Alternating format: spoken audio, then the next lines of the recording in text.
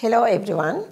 A warm welcome to Engineering the Future, Transport and Mobility, the latest initiative of the Transport Sector Committee of the Institution of Engineers Sri Lanka, IESL.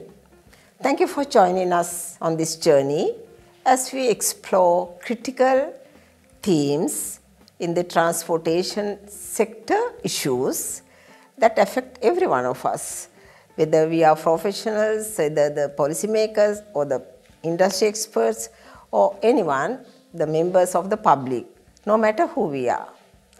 The Transport Sector Committee of the IESL created this platform to articulate our vision for professional development within the transport sector.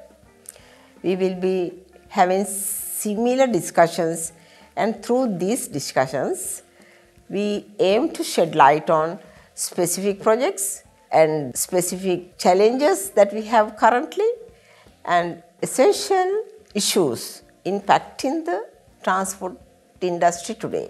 Actually, our goal is twofold to engage in meaningful dialogue with key stakeholders, especially the decision makers, and to communicate our vision, our IESL's recommendations, and to communicate the IESL's recommendations to positive and practical action to foster economic growth and to improve the quality of life for all. That is actually the society expects from the engineer. We do that. So we will be consulting with key stakeholders, conducting in-depth reviews and assisting in the formulation of standards and processes that will guide the sector go forward. Through these collective efforts, we hope uh, our motivation, we need to motivate conversant decisions and actions that will shape the future of transportation in our nation. To our viewers,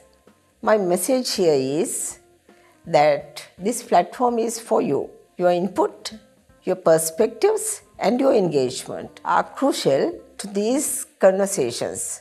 It's very important. We invite you to join us, share your thoughts, and help to spread this message as possible as it is. Please remember to like, share, and subscribe to the IESL YouTube channel where you will be able to stay connected with our latest content and future episodes of the Engineering the Future, Transport and Mobility. Thank you for being here and we look forward to embarking on this journey together for a brighter, more connected future.